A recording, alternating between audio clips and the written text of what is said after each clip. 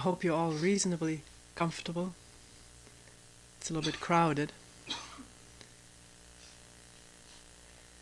Also, I was told that something in the speaker system isn't working quite all right today, so can you all hear? Barely?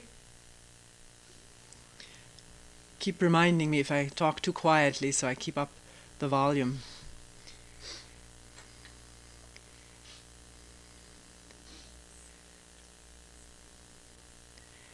And do feel free to change your postures. There are people here who have never been to a talk. Uh, if you feel uncomfortable, change the posture of your legs and see if it is possible to do it quietly so there's a minimum of disturbance. There's always some noise if one cha- changes the posture of one's legs. It's inevitable, don't worry about it. Also, since there are a number of new people, a few words about listening to a talk. The talk is not given for you to remember words, but try to, to see if you can look into yourself and find out the meaning of those words directly to see if what is said is so or isn't so. Because only then is a talk at all meaningful. It's not any authoritative statements that are being made, even though this is time and again interpreted this way. Question it with your total being. Verify. Find out whether this is so or not so in yourself so that you are free from authority. No need to follow anyone.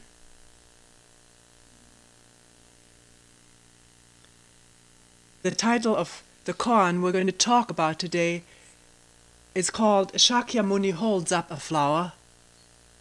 Shakyamuni, another name for the Buddha. And it's taken from a collection of koans called the Mumonkan, the book in front of me is the is the work by Zenkei Shibayama called Comments on the Mumonkan. Using this particular translation with another translation in the wings here in case we need it by Roshi Kapleau. This is how the Koan reads. There's also a commentary and a poem, all of which really lend themselves for a lot of uh, talking about commenting on, looking into. We may not even get done with it today. If not, you can come back after New Year's if you want to hear the end. Hmm. Long ago, when the world honored one was at Mount Gridhrakuta, called Vulture Peak in English, to give a talk, he held up a flower before the assemblage. At this, all remained silent the Venerable Kasho alone broke into a smile. The world honored one said, I have the all pervading true Dharma. Dharma is a Sanskrit word for truth or order. The incomparable Nirvana, exquisite teaching of formless form, it does not rely on letters and it is transmitted outside of scriptures. I now hand it to Mahakasho, to this one man there, this one person who had smiled.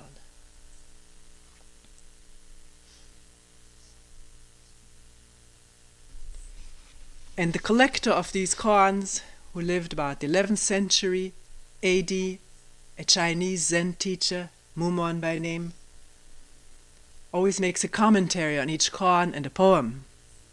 And this is his commentary on this incident Buddha holding up a flower, one of the persons smiling, and the Buddha saying, I hand this, and he has many words for it, on to you.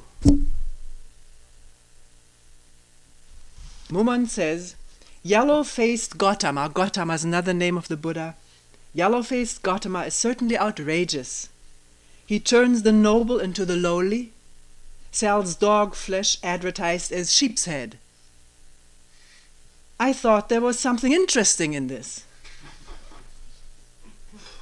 However, at that time, if everyone in the assemblage had smiled, to whom would the true Dharma have been handed?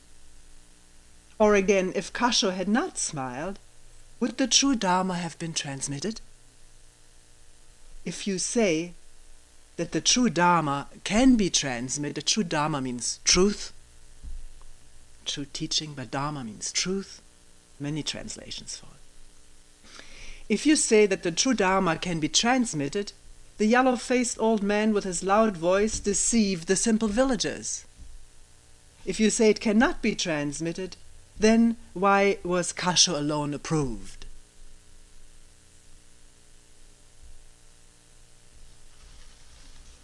And the poem says, A flower is held up, and the secret has been revealed. Kasho breaks into a smile. The whole assemblage is at a loss.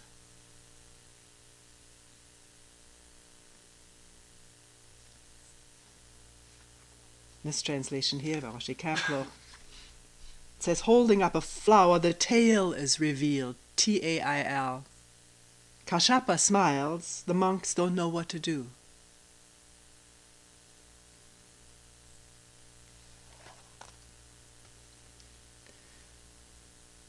This koan can be talked about from many different aspects, but before, before going into that, let's say something about the incident itself.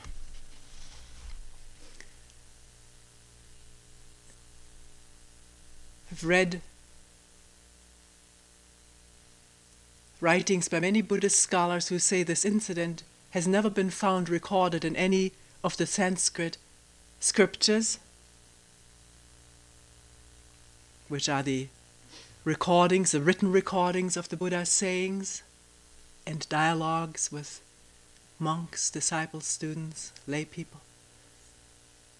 These recordings took place 300 years, about approximately 300 years after the Buddha had said them.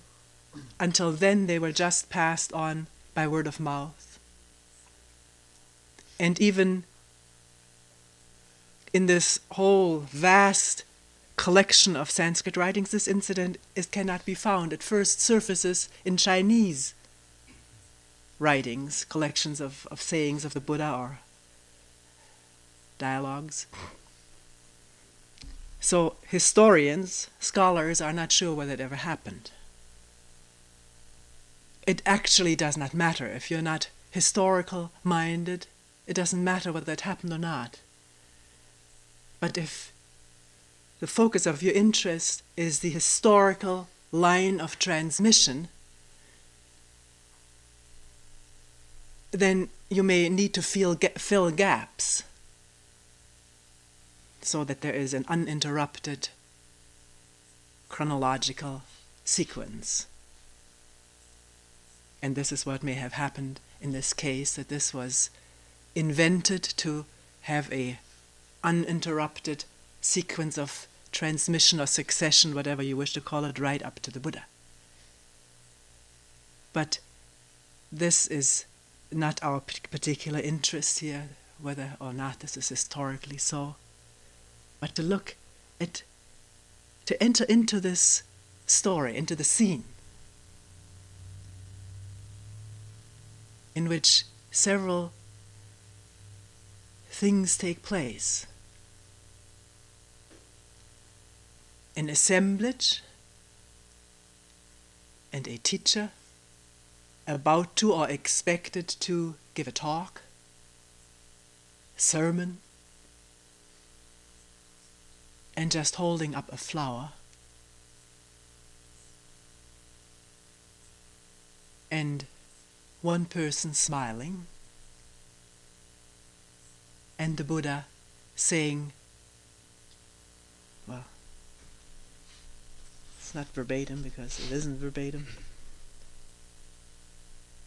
I have the all pervading truth, or true Dharma eye, it's sometimes said, the all pervading eye of truth, the incomparable nirvana, exquisite teaching of formless form. It does not rely on letter, letters and is transmitted outside of scriptures. I now hand it to you, to Mahakashapa. So the question is what what is he handing over?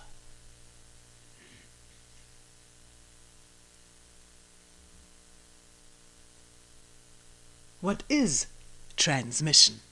That one hears so much about in Zen, mind to mind transmission.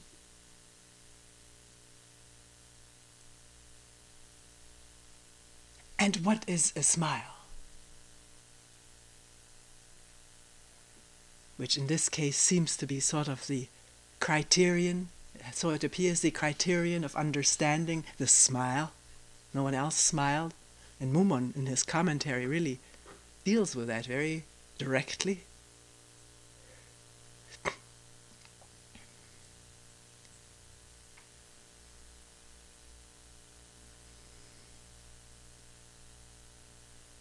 Holding up a flower.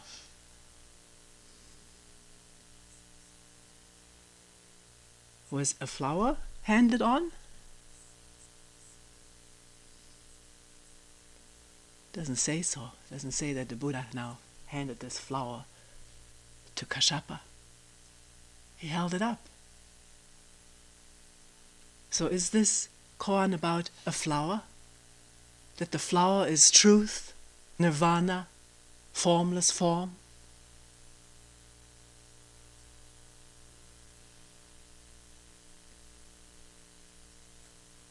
There have been times where Zen teachers have been asked, What is Buddha?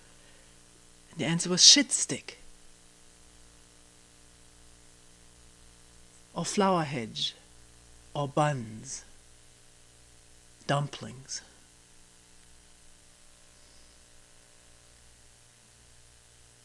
Does it mean that all of these have Buddha nature or are the truth? Is a flower the truth?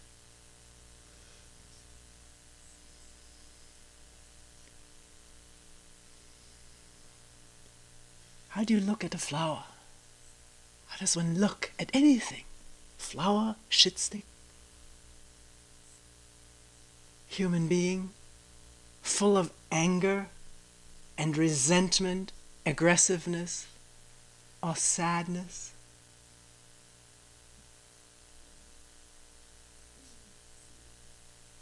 Or joy? What is this seeing, this looking?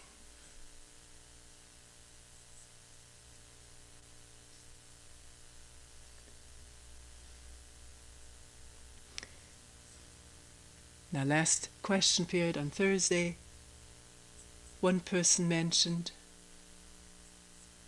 you always seem to say, accept your anger. You must accept this. She said, I can't accept it. You never say anything about going beyond it, just to accept it. What was asked at that moment was, Who is the acceptor who sees the anger. Someone else later commented, You always say, Who is the acceptor? Why don't you say, Who is the seer? We can also say, Who is the seer? Who sees the flower? And, and test it out for yourself when you go for a walk or when you look at a person. You look at anything. What, what is this process of seeing? Is there a seer with, ready with critical remarks, which means I know something about this? I know, I know it better than you do. I have knowledge about this. And the person is that knowledge. Identified with it, it gives a feeling of existence, maybe of power, of meaning significance?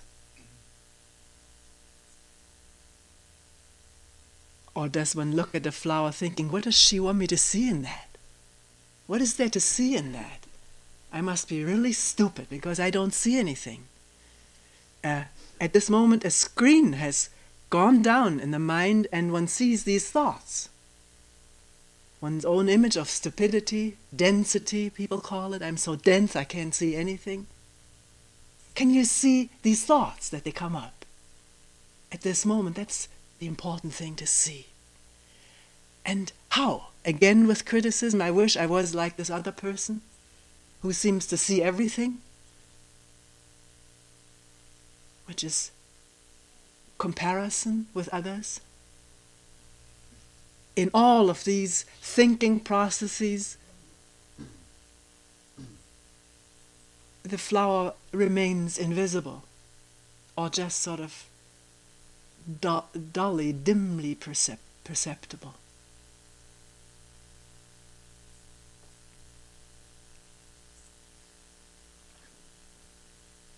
So, what is a flower? If you don't know what it is, no intention to see something, to come to enlightenment in seeing the flower, because that's another thought which can turn the mind, preoccupied. Just not knowing.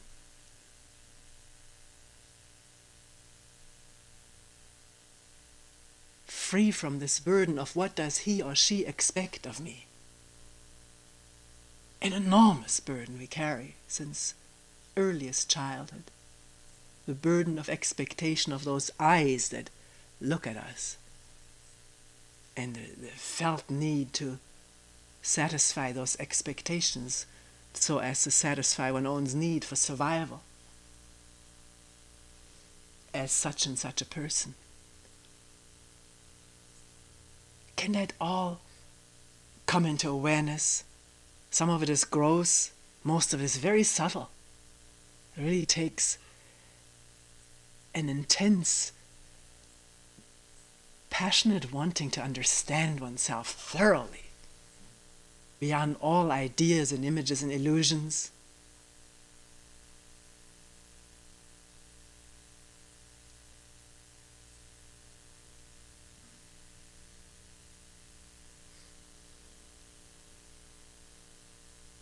So, holding up the flower and one person smiling.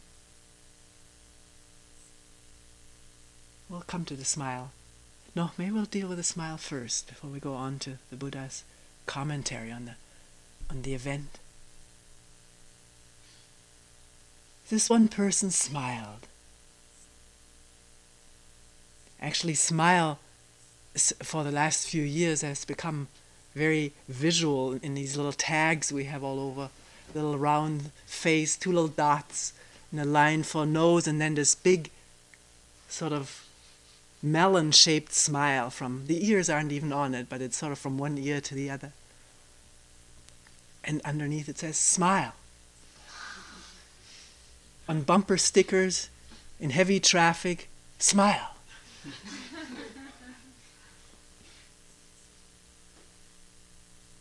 parents tell children who step into the door, into the room with a grumpy or preoccupied, sad, or moody face, why don't you smile?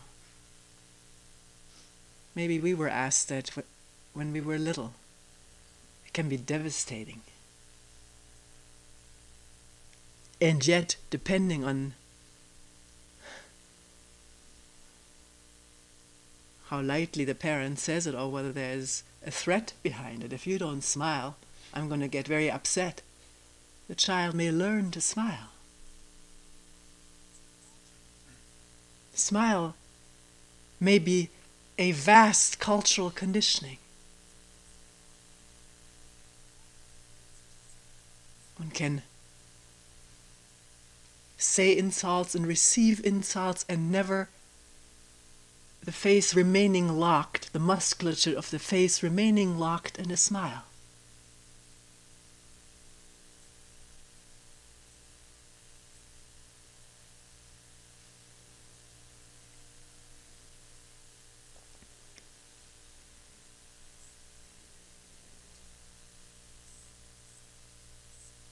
has learned to do that.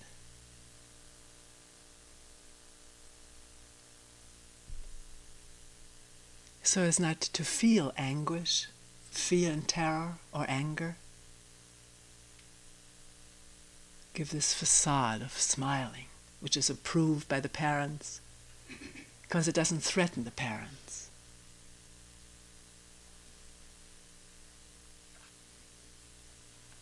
Or teachers, or whoever. We're all children and parents. It's a very interesting article was sent to me someone who lives in New York. It appeared in the New York Times on March 22, 1982. And written by a reporter who traveled through Cambodia after the uh, regime of terror and horror of Pol Pot, or is it Pot Pol? I don't know. We'll come to it. After that regime came to an end, after invasion of the Vietnamese, I believe it was, and this reporter, it says here, D.T. Alman visited Cambodia in October for the Pacific News Service, of which he is East Coast editor. This is adapted from an article in Asia, a magazine. I thought I'd share this, parts of this article with you. If you want to read the whole thing, see some of the pictures, you may do so afterwards.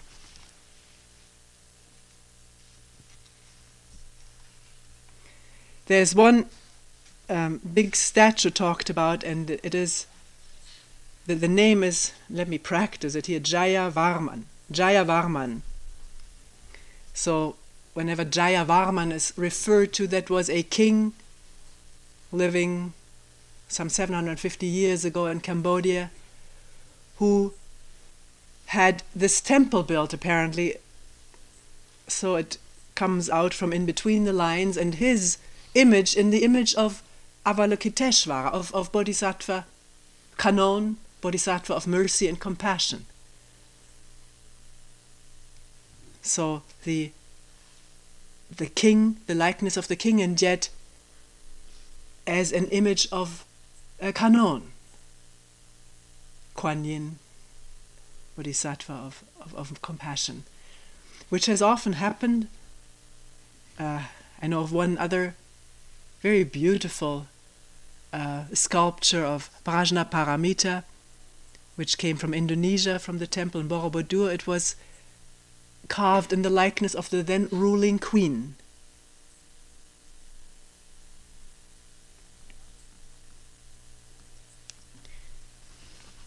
The article starts How different from all the other sunrises in our journey across the heart of Cambodia is this culminating dawn of Jayavarman's smile.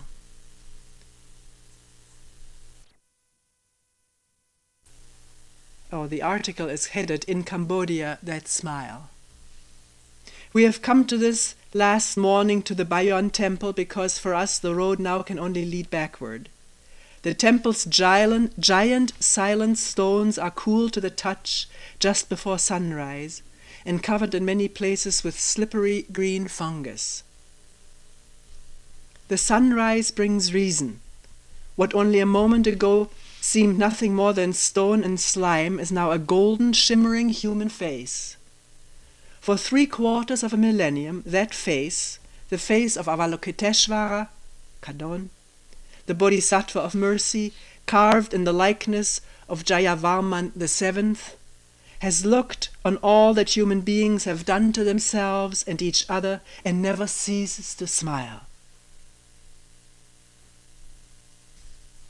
The face is a face of infinite wisdom, our guide is saying, repeating the words he kept alive in his mind during the years of slavery, madness, and death. The smile is a smile of infinite compassion. The eyes are eyes of dot dot dot.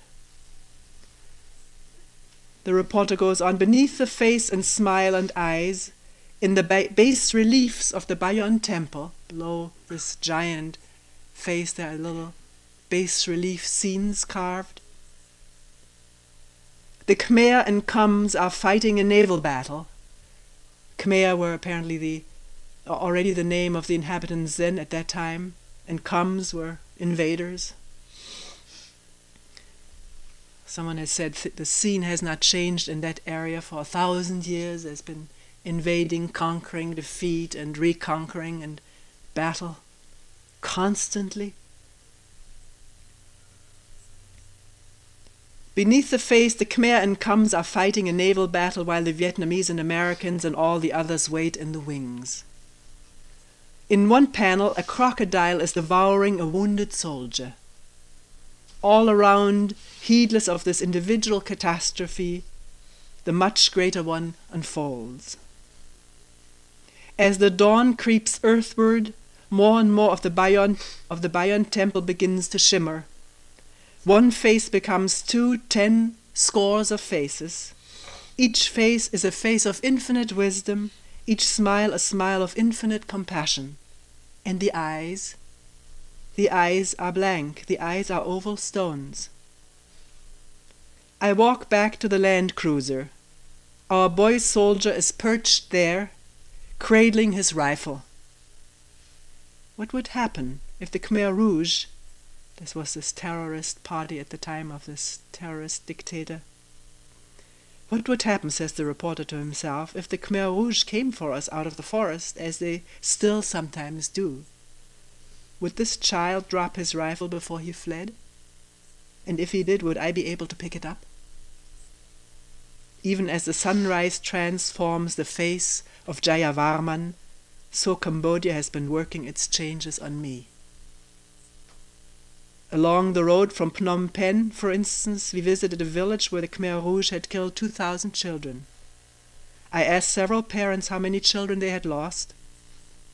Suddenly, everyone was communicating with us in a kind of sign language of death, holding up two, five, seven fingers. And since then, it seems I'm no longer a pacifist. If I had the chance, I would call, cut Pol Pot's throat with a piece of broken glass. But if I did that, I would cut my own hands. If I killed the killers, there would be one more killer in the world.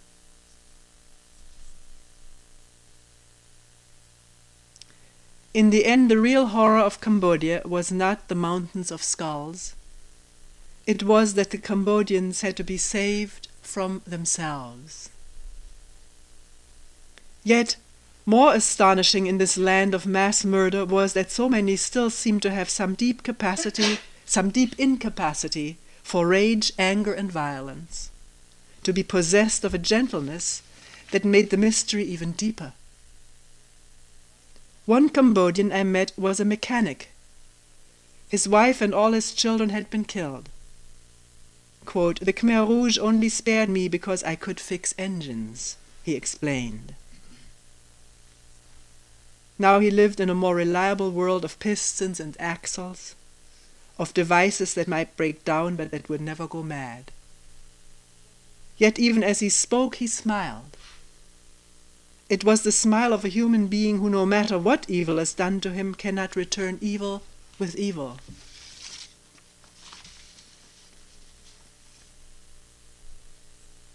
I saw that the same Cambodian smile, I saw that same Cambodian smile at Tuol Sleng, where the Khmer Rouge turned a school into a torture chamber. Many visitors are stunned most by a giant map of Cambodia, made entirely of skulls, and other human remains found there. But another exhibit riveted my attention. When the prisoners were about to be killed, they would be manacled to the wall, and in that instant before they were hacked or crushed to death, the Khmer Rouge photographed them. Many of the faces look out in unspeakable torment, in that instant before they became one more of the skulls. But in a sizable number, the victim is smiling.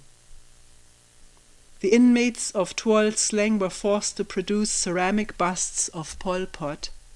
Every one of these effigies of their and their nation's murderer is smiling. 2.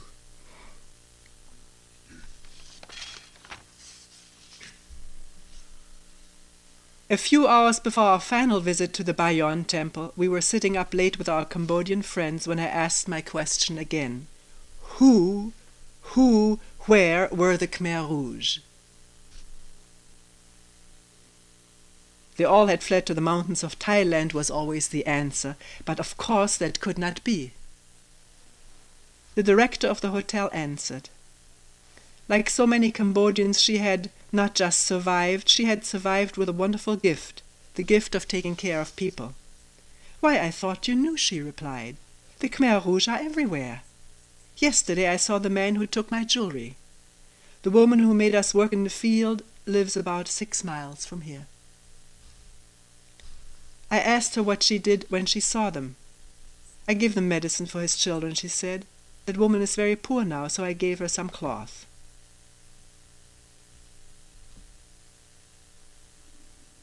Now the reporter himself is going through something that he's commenting on here. I felt an emotion that I almost I almost had forgotten in Cambodia. Not pain, not anguish, but, but cold, unbridled anger. When they come back and kill you all, I said evenly, I will not care. This country wouldn't be a land of mass murderers if it weren't a land of willing victims. Damn your piety, damn your Buddhism. You ought to be ashamed. The next morning, as an act of contrition, I gave her some talcum powder and a little kiss on the cheek. And when she smiled at me, it was a smile of infinite compassion. The sunlight is growing coarser now. The face of Jayavarman is still shimmering, but as the light spreads, it illuminates too much. You can see the giant stones, thousands of them. You can sense the ordeal of endless labor it took to erect this man made mountain, to replicate this face of a single kin king into infinity. The dawn begins with an image of serenity. The daylight reveals the compulsions of a megalomaniac. At Angkor, the Khmer Rouge beheaded the Buddhas, but they preserved the bas reliefs of crocodiles devouring men. They showed a certain reverence for the face of Jayavarman, for his cult of state power preserved in stone and slime, but built on the backs of those who were powerless when they lived and nameless when they died. I pull out two cigarettes and hand one to the soldier. He studies it, studies it a moment and smiles. The boy soldier is smiling at the cigarette the way the woman at the hotel smiled at me, the way the faces in the photographs at Tuol Sleng smiled at death. It occurs to me I have no excuse. I should have realized it years ago. Norodom Sihanouk, he was the then, before this regime, he was the prince of and ruler of Cambodia. Sihanouk had revealed it to me. He had been talking for hours. You realize, don't you, the prince suddenly said, all life is material illusion. The Khmer have been here so long, the soldier's face might be the face of Jayavarman himself, smiling out of the world as he strikes the match and the flame leaps up.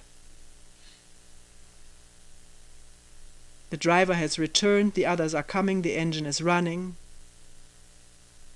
from every direction, the jungle is encroaching on the world of abandoned cities, of empty temples, of palaces, silent as stone. It is time to return, if only we can find a way to nightmares of our own.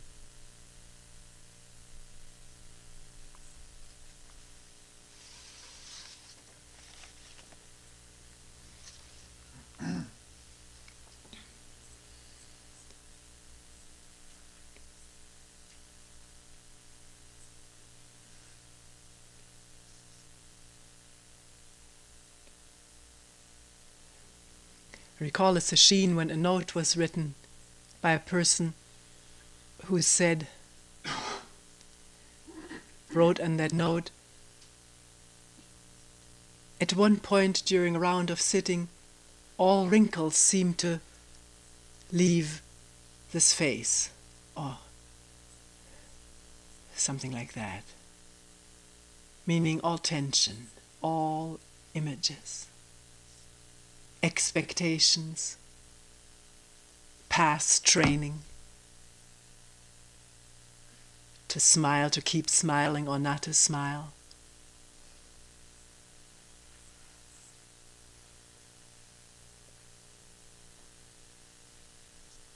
Maybe this is what is talked about here. No, no wrinkles, but not meaning, you know, pulling your skin tight. No tension no conflict.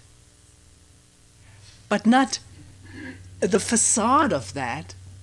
This is a comes out in this in this whole Cambodian scene. These people, who are these people? Uh, it's always so good to think they were imported from the outside. They come someplace from the direction of Russia. They're, they're ourselves.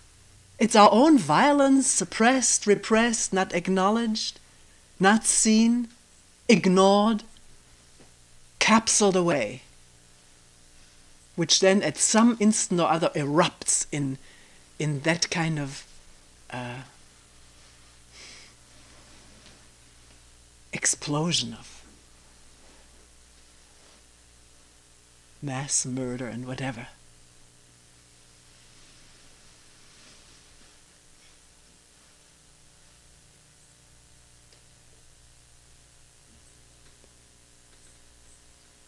So, can, can things be looked at in oneself? It takes this incredible passion to do this. Not self concern, capsuled in self concern, but to see what comes up in relationship, in reaction to what one reads, sees, talks about, is talked to about and not to ignore anything.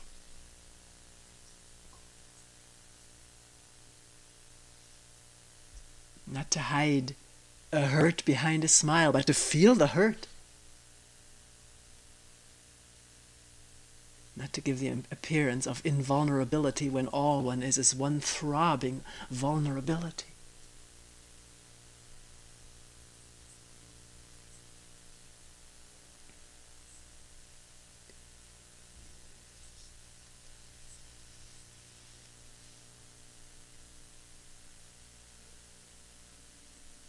Not to look for smiles as evidence, it's there no evidence at all.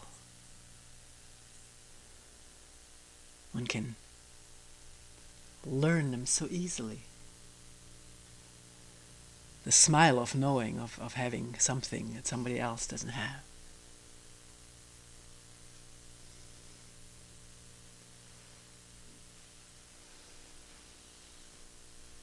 So one wonders what the smile was that Kashyapa broke into.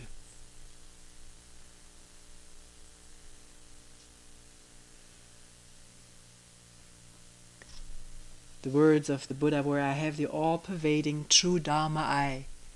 All pervading eye means no division. No, no division, not just a little bit division here that I'll cling to, the rest I'll live in non division. No division all pervading. Can't be all pervadingness when there's attachment to something or other. That attachment, which is based on the fear of no thing, aloneness, that attachment distorts vision.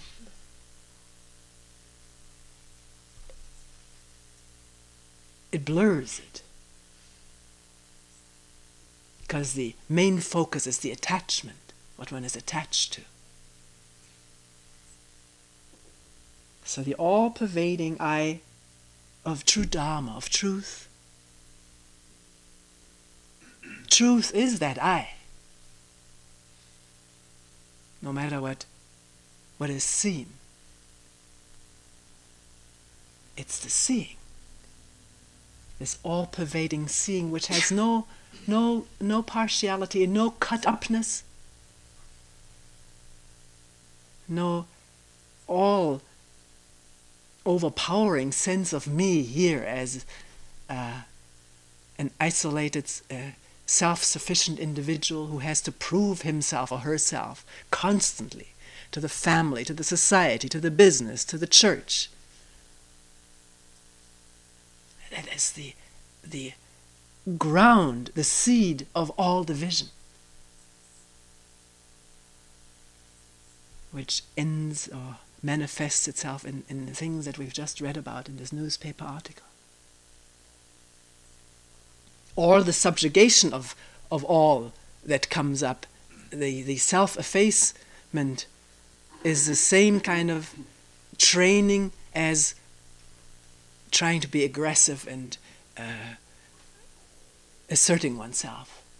Learning to either assert oneself or not assert oneself is two sides of the same coin. It doesn't come out of seeing. Seeing what is there in a human mind, which is not a personal mind. Our personal, there's a personal history there, imprinted on the very last surface of it. But fear, attachment, violence, revenge, that is there everywhere. And it cannot be denied or repressed. If, if it is, then eruptions are inevitable. And you see, they take place everywhere. One scans through history, they pop up everywhere, not just in one country.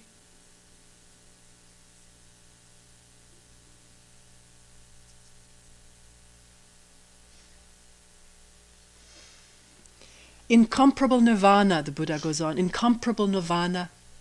Nirvana is a Sanskrit word which means, literally translated, no wind, absence of wind.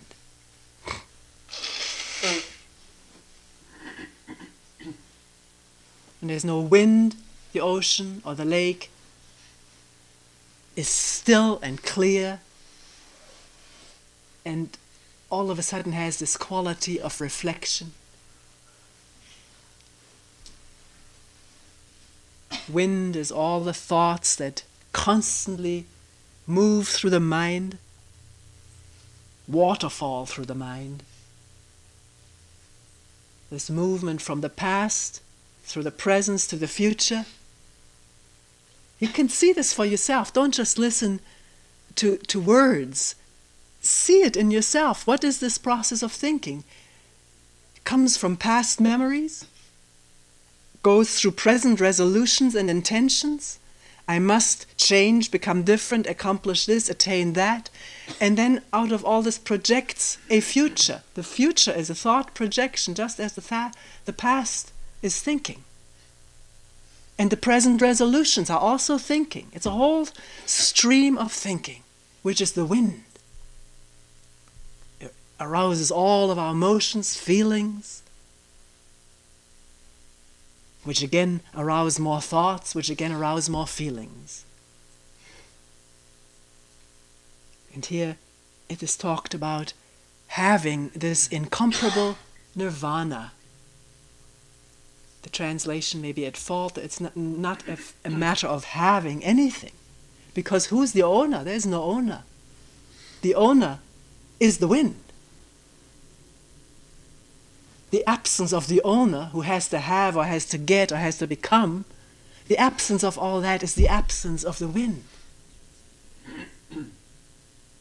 So, how can I get rid of this owner? That's the owner speaking. Do you see that? If you see that, can that seeing be absolutely without judgment? Without acceptance or rejection? Nothing.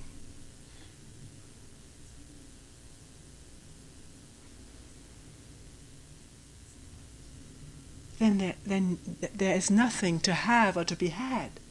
Everything is there, as it is.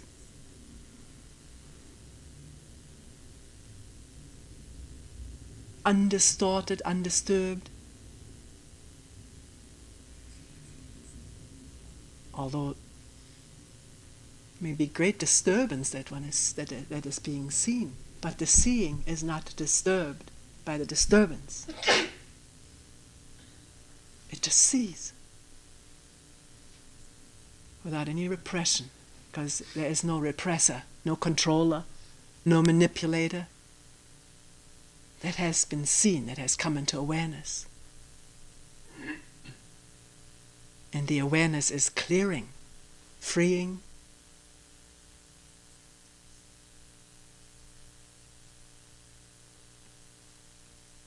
Third descriptive term here is exquisite teaching of formless form.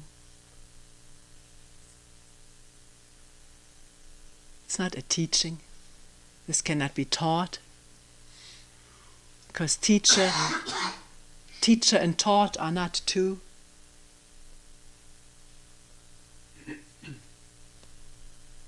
On a uh, day you have some time, you walk through the streets or through the woods, through a park, and you don't intend to get something out of it relaxation or fresh air or exercise. N- nothing. Just walking. There's a breeze, there's fresh air, there's a rustling of trees, sunshine or snow, rain, mud, softness, grass, underfoot. Where do you start and where do you end?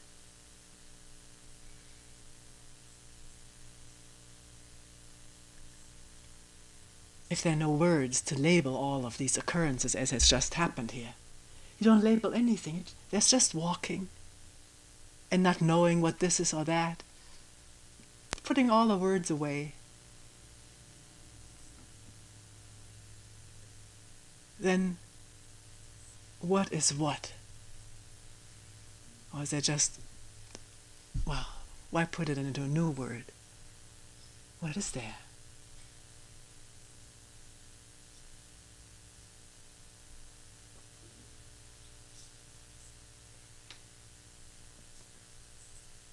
It is said here it does not rely on letters and is transmitted outside scriptures. Letters and scriptures not being that which is being described. Letters and scriptures are letters and scriptures, and they are usually taken literally, adhered to, memorized, recited, and so forth. And that encloses. Or does it? You must find out for yourself. But you can see what these words point to directly and go beyond the words.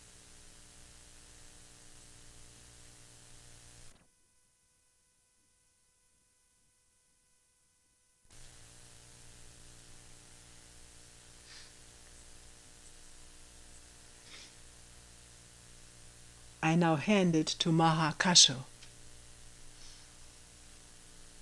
It's a very confusing language. I hand it to you.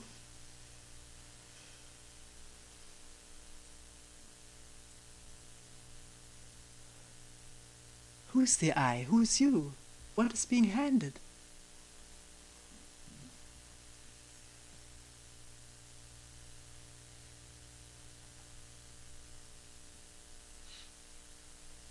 When there's clarity of seeing, there's not you and me, and then nothing needs to be exchanged or passed on. There's nothing to pass on. Despite of our desire to have something to pass on or to receive, that's desire. Can that be seen? You work on who or mu to put it into that raw energy that comes up in the form of desiring, wanting, expecting, fearing, before it translates itself into lots of thoughts of what you want, what you're afraid of, what you expect. Just the raw stuff is who or mu, or the breath, without any word, no label. And don't just hear the words, can you do it? Or is there a doer who must, I must do this? Or is it just that?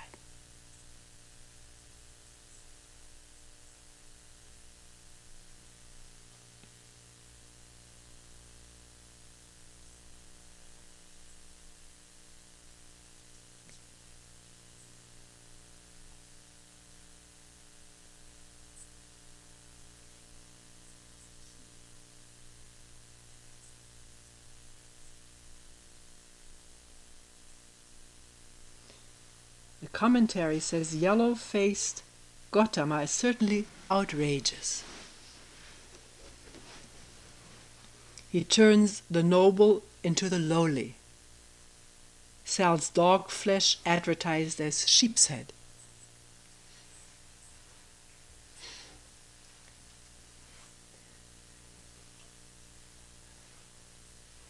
Is it outrageous that instead of giving a sermon or talk in a beautifully set form,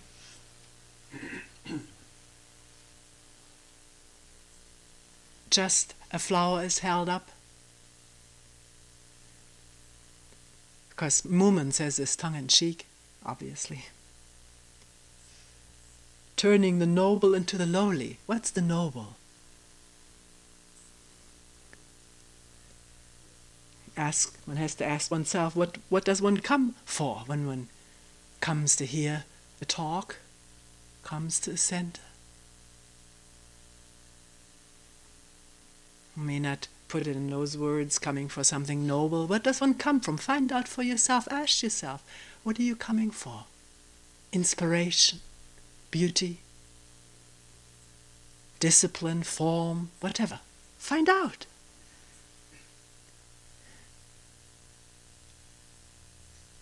And can you question why?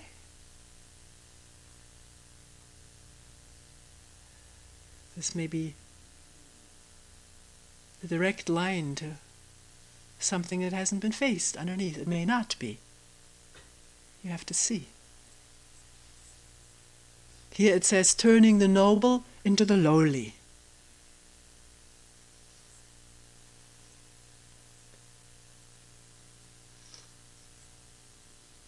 Instead of a talk, a dandelion. Or whatever grows in the meadows of on top of a mountain in India. Daisy or something.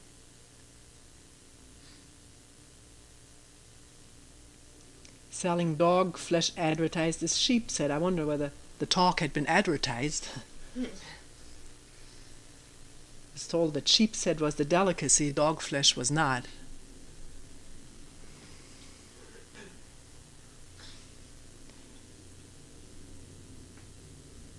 I thought there was something interesting in it.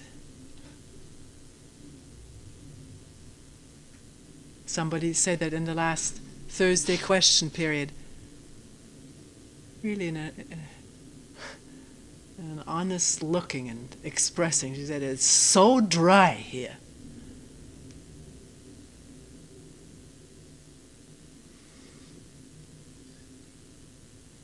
I thought there was something interesting here. Well, we do find human beings exceedingly interesting. We read about them in magazines, papers, um, psychological case histories. And it's all here. And here we don't find it interesting at all. And here we want to get away from it.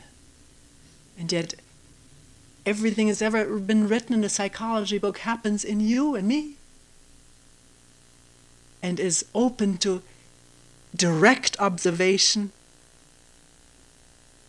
direct looking and seeing, direct revelation.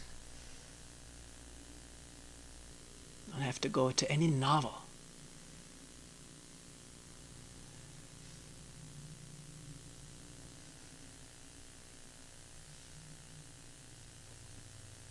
However, Mumon goes on, at that time, if everyone in the assemblage had smiled, to whom would the Dharma have been handed?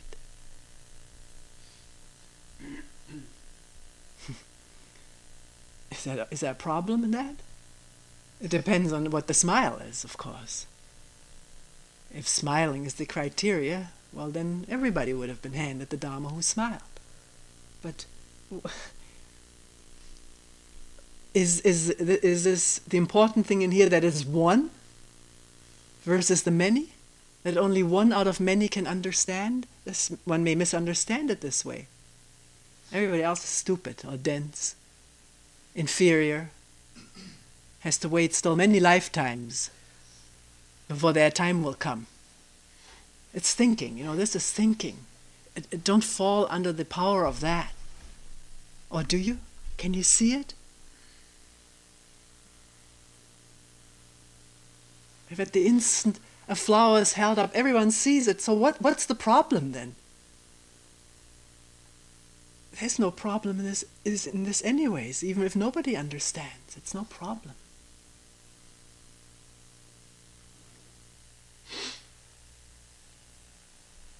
Everything is there to be seen, touched, smelled.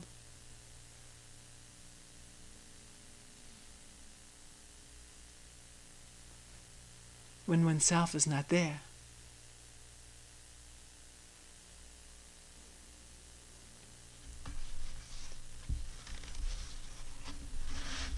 These arguments are being advanced here is to, to see whether the mind gets befuddled by them entangled in them, and then, of course, there is no clarity, or whether these arguments are just seen as what they are, trying to confuse or, or, or test whether the mind is subject to confusion. And confusion about what the transmission is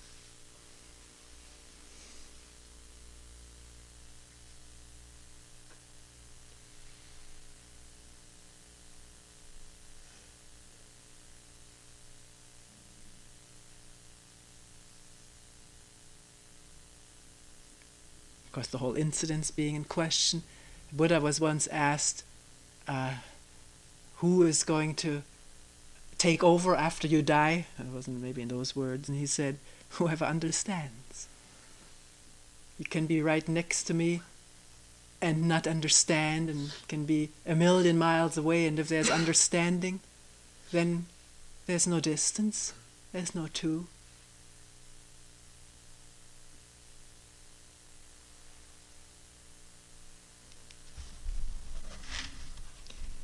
Mumon's poem says a flower is held up and the secret has been revealed. The other translation, says the snake reveals its tail. There's always this feeling that there's a great big secret that some know, the initiates know, and the others are working hard to get a hold of. Holding up a flower, the secret is revealed.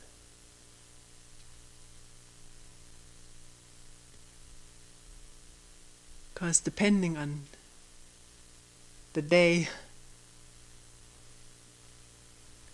it's possible to see a flower completely not be there, no problem, no division.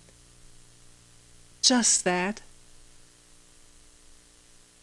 But then run into somebody who does one wrong, treats one unfairly, talks badly about one, and then what?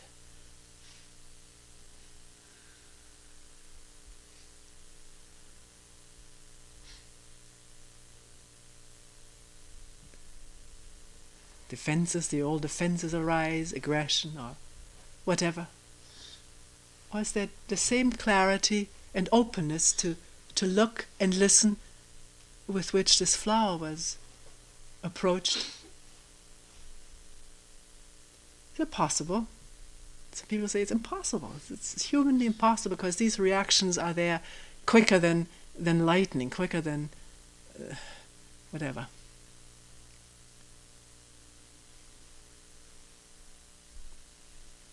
But maybe there can be a moment of attention even before something like this happens and then the reactions will not be quicker than lightning. They will cease at the instant of arising because there's attention there and awareness. Not the intention to be attentive, that's an idea, a blind idea, but simple awareness. And that can set in, come into being at any instant in at any time. As a matter of fact, that instant is, is not in time.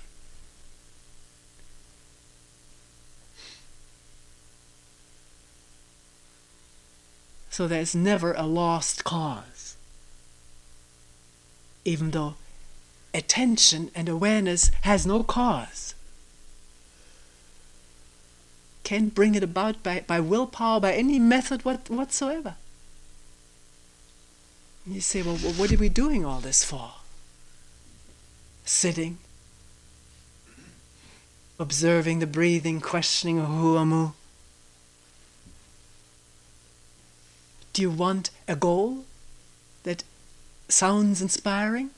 Or do you need to look what's happening this instant here on the cushion, on the mat, on the on the street?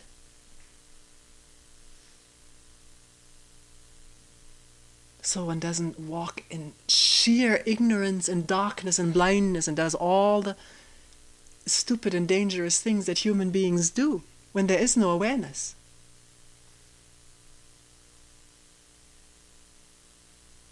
when division and separation takes the place of awareness in which there is no division.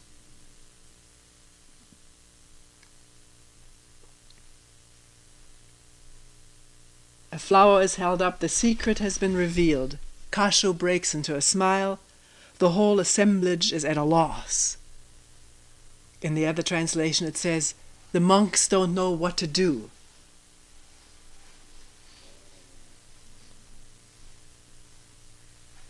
Is this whole affair a matter of doing? Maybe that's the a crucial state one comes to if one does not know what to do, if one is at a loss. Because then all the old mechanisms and techniques grind to a halt. They, they, they don't work. It's still the same old stuff.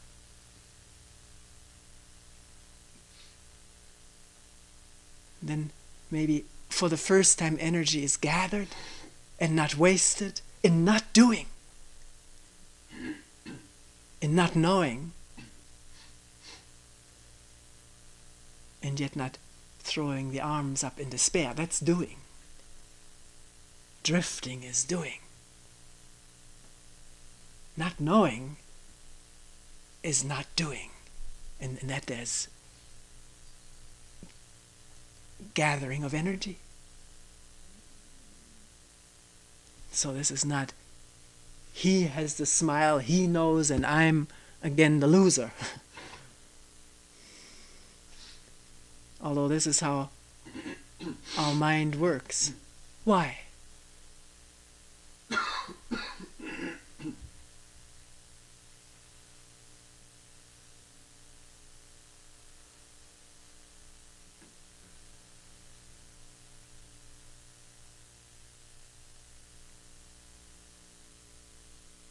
assemblage is at, a, is at a loss. What is this loss? Loss of what?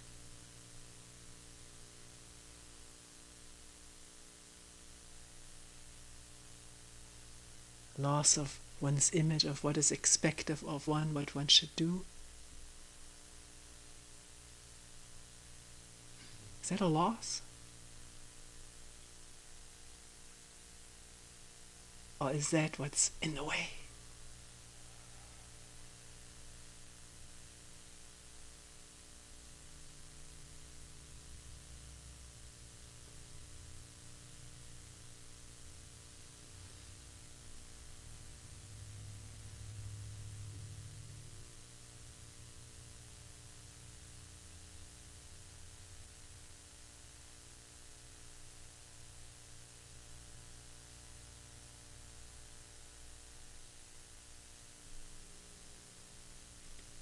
We will end here for today.